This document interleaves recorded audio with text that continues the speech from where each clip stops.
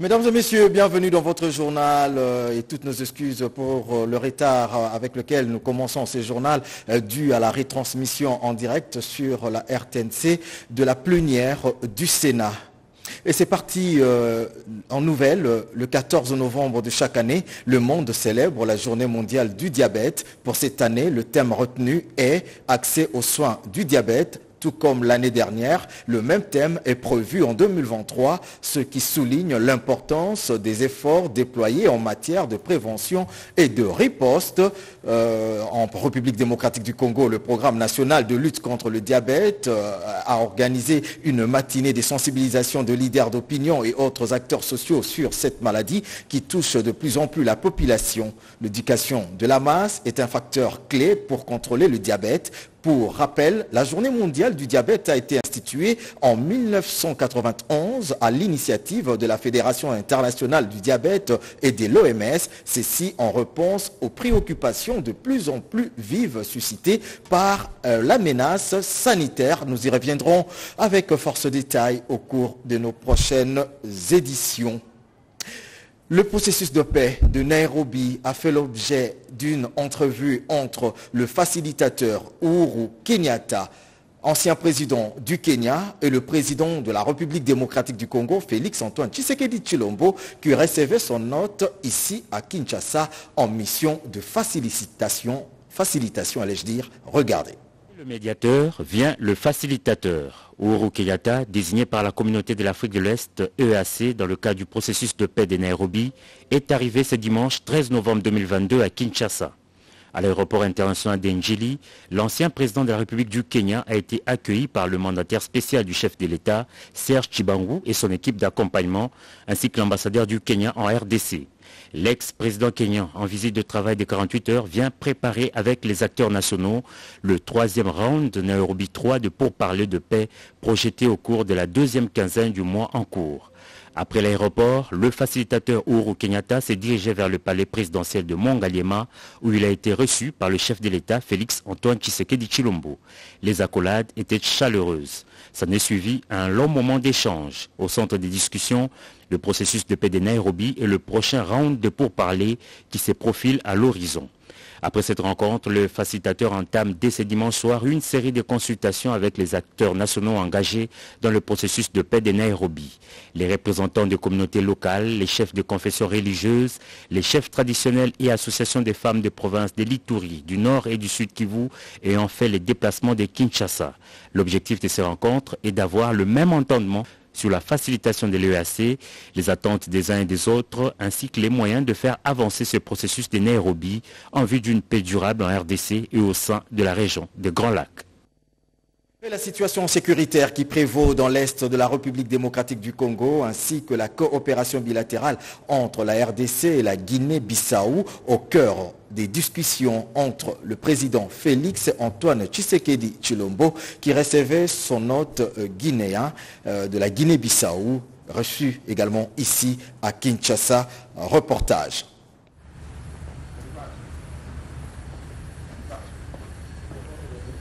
C'est dans la soirée du samedi 12 novembre que le président de la Guinée-Bissau est arrivé à Kinshasa, à la résidence officielle du président congolais, où Maro Sissoko Ambalo et Félix Antoine Tshisekedi Chilombo ont échangé pendant près d'une heure en présence des deux ministres des Affaires étrangères de deux pays respectifs. À l'issue de cette rencontre, au sommet, les ministres des Affaires étrangères de la Guinée et de la RDC ont reçu à la presse l'essentiel de ces échanges. Christophe Tundela inscrit la rencontre dans le cadre de relations bilatérales qui lient les deux pays. Bon, d'abord, vous savez qu'à titre personnel, les deux chefs d'État, son Excellence le président Ambalo de la Guinée-Bissau et notre chef d'État, son Excellence le président Félix Antoine Tshisekedi, sont des amis et des frères. Ensuite, vous savez aussi que depuis longtemps, la Guinée-Bissau et la RDC, ce sont des pays qui sont des pays africains avec des relations très très fraternelles.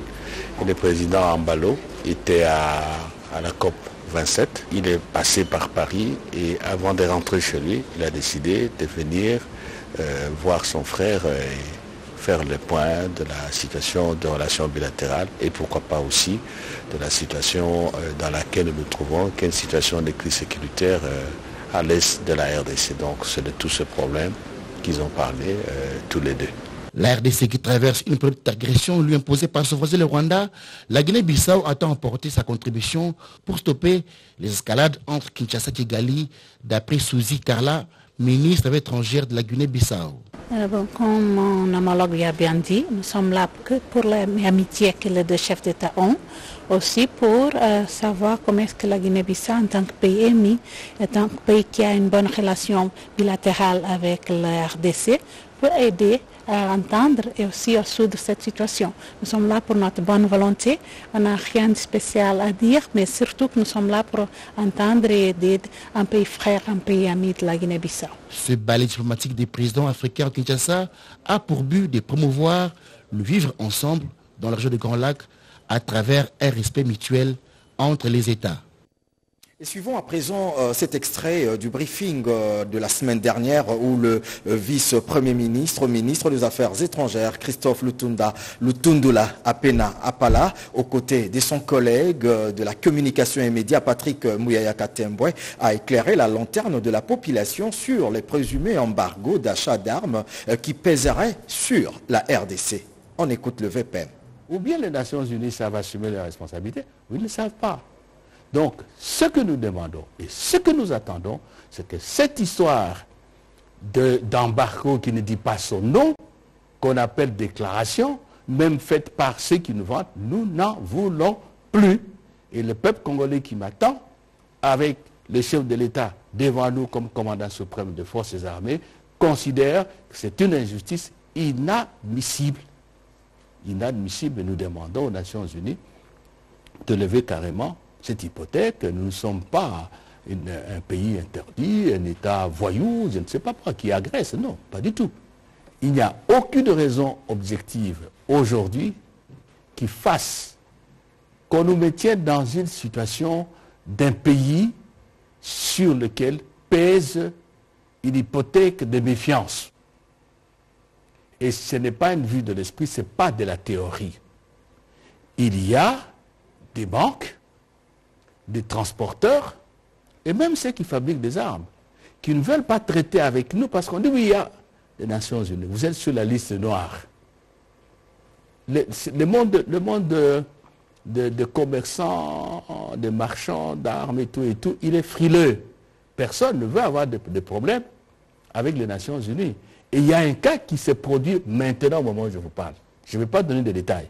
Au moment où je vous parle, nous sommes dans cette situation-là où euh, ce qui a été acheté ailleurs, le matériel militaire, venait vers ici, mais en cours de route, euh, euh, le transporteur a dit non, non, non, ça ne peut pas arriver à RDC. Alors c'est pour ça que nous disons au Conseil de sécurité ceci. Ce que nous disons au comité de sanctions qui est ici, non seulement que c'est une hypothèque réelle, ne fût-ce que psychologique, mais aussi c'est une injustice flagrante qui, constitue pour nous, Congolais, un soutien à ceux qui nous combattent. Alors, regardez le raisonnement. Celui qui nous combat l'M23, il a des gens qui lui donnent des armes qui sont achetées à travers le monde sans déclaration, sans quoi que ce soit, pour nous combattre. Et à nous, on dit non, si on doit vous vendre ça, on doit déclarer. Est-ce que ce n'était pas une façon de nous affaiblir? 950 sacs de farine de maïs issus de la ferme militaire de Mabana euh, dans le cadre de l'industrie militaire viennent d'être remis aux veuves militaires du camp Bumba et c'est la vice-ministre de la Défense nationale Séraphine Kilubu Kutuna qui a procédé à cette remise tout en sensibilisant euh, ces femmes euh, sur l'agression rwandaise. Elle leur a demandé de soutenir les FRDC ainsi que le président de la République Félix Antoine Tshisekedi Chilombo regardez. Après la marche organisée le samedi 5 novembre dernier avec la population civile, cette fois-ci, c'est avec les veuves militaires du Kombumba que Séraphine Kilubukutuna, vice-ministre de la Défense, s'est réunie pour témoigner le soutien et leur attachement au président de la République et au FRDC et en même temps protester contre l'agression rwandaise qui s'est perpétrée au cours de ces dernières années, qui a causé beaucoup de victimes et qui doit impérativement prendre fin. Ces femmes ont saisi cette occasion pour remercier le président de la République, Félix-Antoine Tshisekedi Chilombo, et tout son gouvernement pour avoir augmenté significativement leur salaire qui leur permet aujourd'hui de répondre à leurs besoins primaires et de tenir le debout du mois. C'est injuste.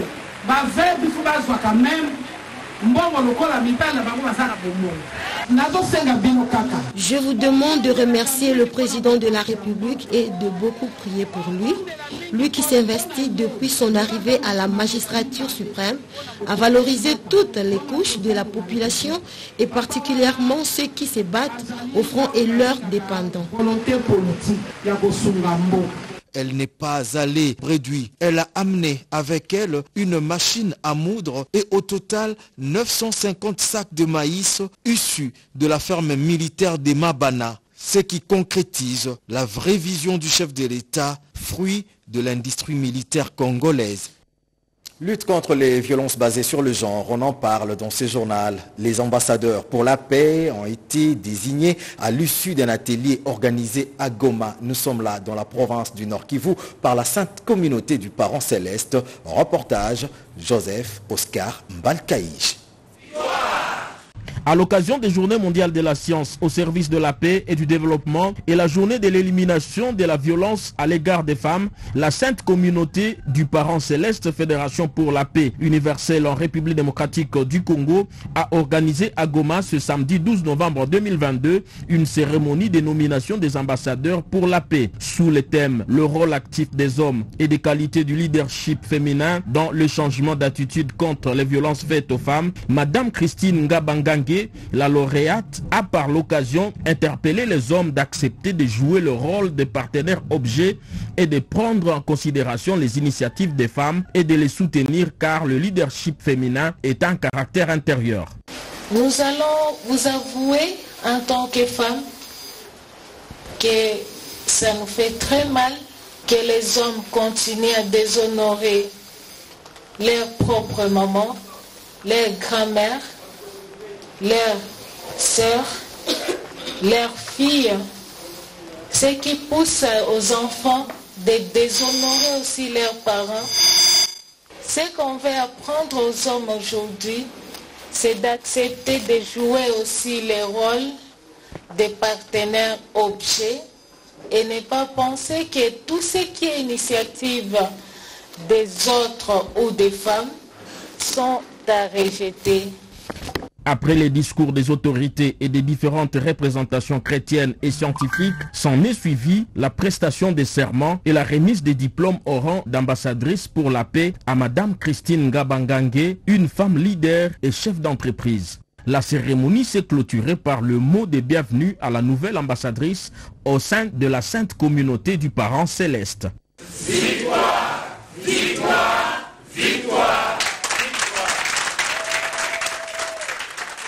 Et dans la province du Kwilu, territoire de Gungu, la population dit non à la guerre d'agression rwandaise. Elle l'a exprimé au cours d'une manifestation organisée par le député provincial élu de Gungu, Franck Gatola.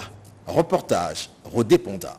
La République démocratique du Congo fait face à une guerre barbare d'agression rwandaise. Aujourd'hui, tous ses filles et fils sont mobilisés derrière les commandants suprêmes des armées et les FARDC pour combattre ensemble et bouter cet ennemi hors de nos frontières. C'est le cas du député provincial Franck Gatola qui a mobilisé les forces vives dans les territoires de Gungu, province du Kwilu, pour un soutien inconditionnel aux garants de la nation et les forces armées congolaises en pleine bataille au front dans l'est du pays. Après un long temps de repos médical des suites de l'accident de circulation connu au mois de mars 2022 sur le pont Maïndombe qui a causé neuf morts, dont trois députés du Kwilu, le député provincial Franck Gatola, l'un des rescapés, aujourd'hui rétabli, s'est rendu dans sa base du territoire de Gungu, province du Kwilu, pour remercier la population qui l'a soutenu moralement et spirituellement avec des prières. Successivement, il s'est rendu à Mukedi, à Lukamba 622, à Munzombo, à Lozo Minenen, à Kinguba, à Dongo, à Kinzamba et tant d'autres villages du secteur de Lozo et du secteur de Lukamba. Dans ses échanges avec la population, le député provincial Franck Gatola a fait des dons aux différentes couches vulnérables de la population, notamment des crédits surriers dans des écoles, des lampadaires, dans les centres de santé du secteur et d'épargne aux mamans. Franck Gatola a trouvé l'occasion propice pour exhorter la population de Gungu et l'inviter à soutenir les chefs de l'État Félix Antoine Tshisekedi Chilombo et les FARDC qui défendent le pays. Il a lancé un appel aux jeunes du territoire de Gungu à s'enrôler massivement dans l'armée et la police pour le besoin de la cause. La protection de la mère patrie oblige. Et parlons de nous-mêmes, arrivée d'un lot de matériel audiovisuel pour le compte de la RTNC, entendez Radio-Télévision Nationale Congolaise. Cela va apporter tant soit peu la rénovation et la modernisation de cette chaîne publique. Et d'autres équipements sont également attendus dans le tout prochain jour, prochain mois, notamment le quart de reportage en plein montage chez leurs fabricants européens. Regardez de matériel audiovisuel de dernière génération réceptionné par le directeur AI de la RTNC au grand bonheur de ces quelques cadres d'un technicien représentant les Studio Tech avec qui la chaîne nationale a signé un partenariat. Studio Tech euh, soutient la RTNC dans son projet d'amélioration de, services et de rendu en ce qui concerne ses émissions et sa diffusion. Et ainsi, euh, nous avons pu euh, conclure avec euh, la RTNC et particulièrement avec la RTNC et le gouvernement congolais afin de fournir un matériel de dernière génération. Donc la RTNC n'aura rien à envier à une quelconque télévision dans le monde. Nous aurons des formations et euh, le génie congolais pourra développer cela à, à, sa manière. Et le premier lot consiste à des régies mobiles.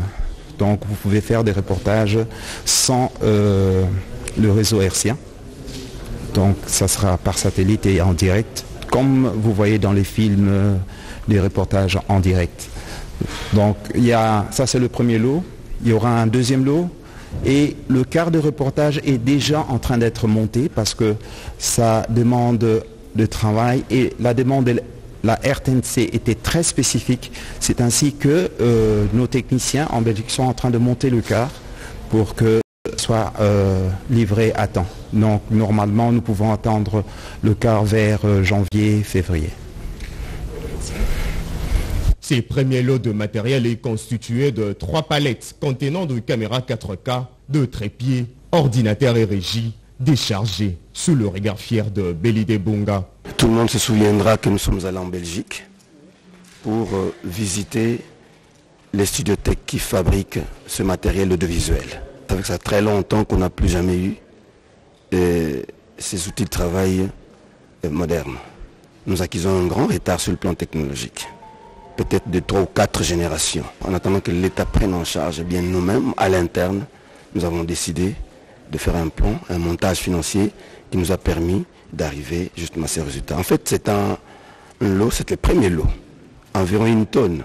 Un deuxième et troisième lot de matériel sont attendus dans le prochain jour et suivi d'une formation de remise à niveau des agents utilisateurs de ces matériels tels que voulu par le ministre de la Communication et Médias, porte-parole du gouvernement, qui tient à la modernisation de la chaîne nationale, miroir de la RDC.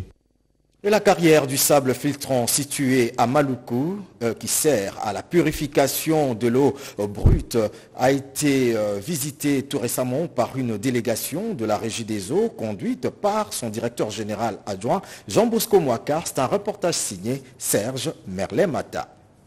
Lors de la visite sur ces sites, la délégation du conseil d'administration de la régie des OSA, conduite par le DT général adjoint Jean Bosco Mwaka Indele, s'est imprégné du rôle et fonctionnement de la carrière de Maloukou, ainsi que de l'affaire du conflit foncier opposant la régie des OSA à l'entreprise Sipor SRL. Ajoutez à cela les difficultés auxquelles sont confrontés la régie du SA sur le terrain. Déçu de voir la société Sipo SAL faire avancer son projet et poursuivre à ses places ses activités principales alors que les dossiers est encore en cours, quelques administrateurs de la régie des ESA ont déploré et dénoncé l'occupation illégale de cette carrière que la régie des ESA exploite depuis 1971. Sablier constitue la matière grise je crois que nous devons arrêter. toutes les contradictions pour sauver ce qui doit être fait et avec euh, l'implication du chef de l'État qui est toujours derrière la population, nous aurons des gains de cause. Sentiment de satisfaction pour le directeur général adjoint la régie des USA, Jean Bosco Mwaka Indele, qui a salué l'intérêt porté par la délégation du conseil d'administration de cette entreprise à ces dossiers. Nous avons été partout et au moment où nous parlons, les dossiers est pratiquement, selon nos informations, sur la table du secrétariat exécutif du gouvernement. Nous avons tenté sans succès d'avoir la version des faits de l'entreprise Sipor SRL qui est en train de construire un port fluvial sur ces sites situés à Maluku. Une soirée caritative organisée à Kinshasa pour venir en aide aux enfants atteints du cancer a été organisée par la Fondation NOAA, une occasion pour faire la collecte de fonds pouvant permettre la prise en charge des enfants atteints du cancer en République démocratique du Congo. Regardez. Le cancer est l'une des principales causes de décès chez les enfants et les adolescents. C'est dans ces contextes qu'il faut placer l'organisation de cette soirée caritative initiée par la Fondation NOAA qui milite pour l'accès aux médicaments anticancéreux à usage pédiatrique afin d'assurer un approvisionnement interrompu en médicaments anticancéreux à usage pédiatrique de qualité garantie chez les enfants atteints du cancer en RDC. Ici à Kinshasa, à Roméo Golf, plusieurs personnalités ont rehaussé de leur présence cette soirée de gala. Charité très émouvante en témoignages et explications scientifiques des médecins spécialisés axés sur le cancer chez les enfants, présidée par Jolie Piama, présidente de la dite fondation. L'objectif est atteint parce que les gens sont sensibilisés. Les médecins, ils ont donné des causes. L'argent qui est récolté, premièrement, pour donner à l'enfant qui est à la clinique universitaire de Kinshasa, ce n'est pas assez pour nos enfants souffrant du cancer. Et tout ce qui va rester, on va ramener pour nos enfants qui souffrent du cancer. Un autre temps fort, il s'agit de la collecte de fonds et de la vente aux enchères des œuvres d'art dont l'argent servira à la mise en place des pharmacies, des produits anticancéreux et assurer la prise en charge des enfants congolais atteints du cancer. Travaux de réhabilitation et de modernisation de l'hôpital de référence de Kinshasa ex-Mamayemo avancent à pas des géants. Le directeur général du BSECO, Jean-Mabi Moulumba, a effectué une visite d'inspection de ces travaux. En reportage aux Congolais du service de soins de qualité que le président Félix Tshisekedi a initié le projet de réhabilitation et modernisation de l'hôpital général de Kinshasa ex-Mamayemu. Pour s'assurer de l'avancée de travaux, le directeur général du bureau central de coordination Jean-Mabi Moulumba, accompagné du conseiller principal du chef de l'État au collège des infrastructures, David Moukeba, ont effectué une visite d'inspection de travaux. Et ce qui nous réjouit ici, en, plus de pouvoir offrir des infrastructures sanitaires de qualité, ce sont les Congolais qui ont été mis à contribution pour pouvoir conclure à la conception de ce projet. Les travaux qui sont réalisés par trois entreprises différentes concernent essentiellement la réhabilitation du tout premier pavillon construit en 1912, la morgue, la salle d'urgence et autres bâtiments. Euh, pour la première phase, nous avions trois constructions et puis une réhabilitation. Euh, dans les trois constructions, nous avions euh, les bâtiments à six niveaux, donc quatre étages, R+, rez-de-chaussée plus sous-sol, et les bâtiments des urgences et puis c'est l'entrée principale de, de l'hôpital Mamayemo. Et nous avions aussi construit la morgue que vous avez visité. Et il y a une réhabilitation que nous avions fait, c'est le bâtiment qu'on appelle pavillon 13. C'est le premier bâtiment construit en 1912 euh, à l'époque des Belges. Et ça, nous avions laissé ça pour que ça puisse être un patrimoine pour notre pays. D'après le bureau d'études, les ouvrages seront livrés en juin 2023. Autre chose, désormais, les étudiants vont accéder gratuitement à la documentation par voie électronique. C'est là grâce à la distribution gratuite de Wi-Fi pour une connexion facile à la bibliothèque numérique. Reportage Rodépanda.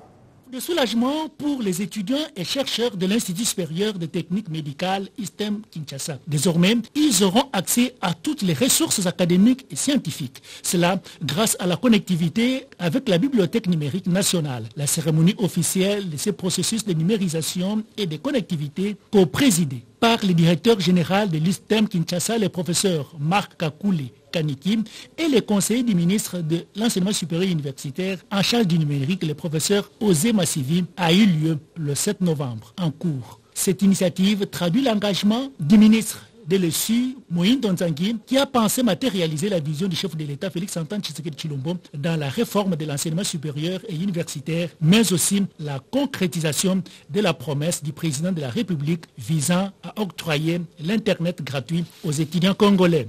Le Wi-Fi gratuit promis par le président de la République est maintenant une réalité. L'étudiant congolais sera est à mesure, à partir de maintenant, d'accéder à des milliers d'ouvrages, des milliers d'articles et cela gratuitement. Au lieu de donner les Wi-Fi aux étudiants pour aller sur WhatsApp et d'autres réseaux sociaux, on a préféré les inviter à aller sur la Bibliothèque nationale numérique pour télécharger des documents. L'opération est simple. Il suffit d'avoir une SIM RTL sur son téléphone Android pour se connecter à la Bibliothèque numérique nationale. Un partenariat a été signé entre les ministres de l'ISU, RTL et la Bibliothèque nationale pour offrir à toutes les universités congolaises l'Internet gratuit dans le but de promouvoir la recherche scientifique et académique.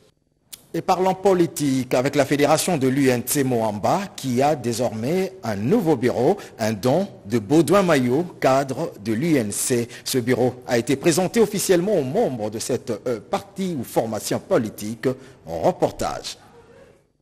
Un nouveau bureau UNC en plein quartier Kingabois, commune de Limeti. Les partis chers à Vital Kamere tissent toile. Celui-ci porte la signature du député national Jean Baudouin Mayomambeke, élu de Moamba. Ces installations vont servir à accueillir les adhérents, des réunions également pour la fédération des Kingabois. Vraiment, je remercie le président national, je remercie Mayomambeke et Jean Baudouin qui a tout donné pour que vive cette fédération. Il voudrait que le parti rayonne à Kingabois. Nous avons adressé un message au président national. Sa rentrée politique à Kinshasa, qu'il n'oublie pas Kingabois. Cet acte posé par Jean Maillot s'inscrit bel et bien dans la vision du président national de l'UNC, Vital Kamere. Moi, je voudrais aussi profiter de cette occasion pour euh, féliciter le donateur de cette euh, fédération, à l'occurrence euh, l'honorable Mayo Mambeke.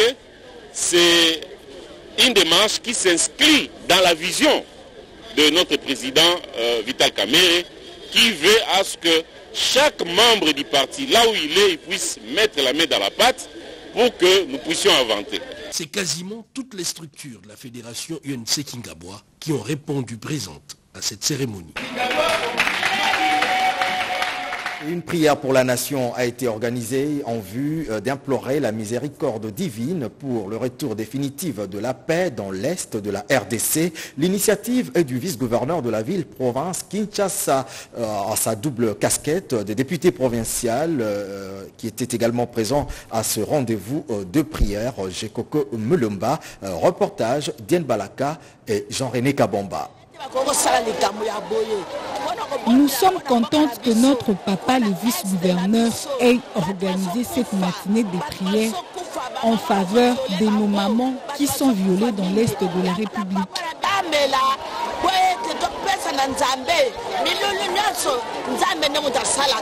Des témoignages poignants à l'endroit de l'honorable Gérard Moulumba par les mamans et les veuves de la Fondation Gécoco, l'une des structures de l'Union pour la démocratie et les progrès sociaux.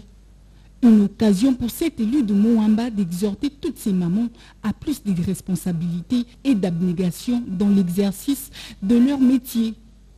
S'agissant de la situation sécuritaire dans l'Est de la République démocratique du Congo et les conflits Tekeyaka, l'honorable a appelé toutes ces mamans à l'unité et il leur a demandé d'implorer la miséricorde divine pour une solution durable dans l'Est du pays et dans le Kwamouti soutenir le chef de l'État Félix Antoine Tshisekedi Chilombo aux élections de 2023, c'est le seul mot d'ordre donné par l'honorable à toutes ces mamans.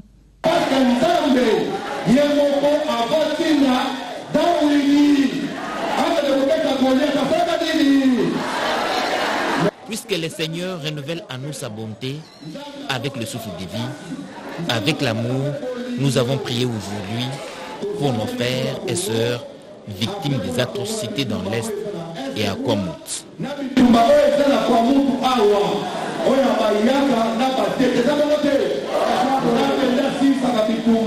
Ces femmes, pour la plupart des commerçantes, ont reçu chacune de main de l'honorable Jekoko Mulumba, autrement dit Soso Yamboka, une enveloppe devant leur permettre de relancer leur activité génératrice de revenus.